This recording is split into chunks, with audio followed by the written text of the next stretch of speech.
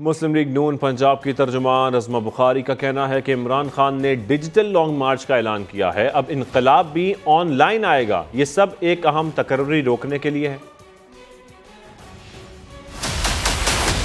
इमरान खान साहब, अब आपने देखा कि कल डिजिटल लॉन्ग मार्च है, उसका ऐलान किया है, जो इनकलाब है, वो भी ऑनलाइन। और उन्होंने कहा कि वो 10 से 14 दिन के अंदर इस्लामाबाद पहुँचेंगे।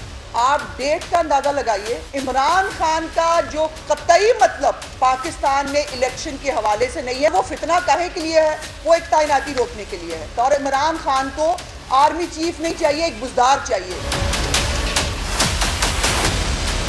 आईने इमरानिया इस मुल्क में नहीं चलेगा। पीटीआई का एक वतीरा है। उनको हर चीज़ पे सियासत करनी है और वो लाशें ढूंढ रहे होते हैं, वो जख्म ढूंढ रहे होते हैं। इसी तरह उनको एक कतरा खून मिल जाए।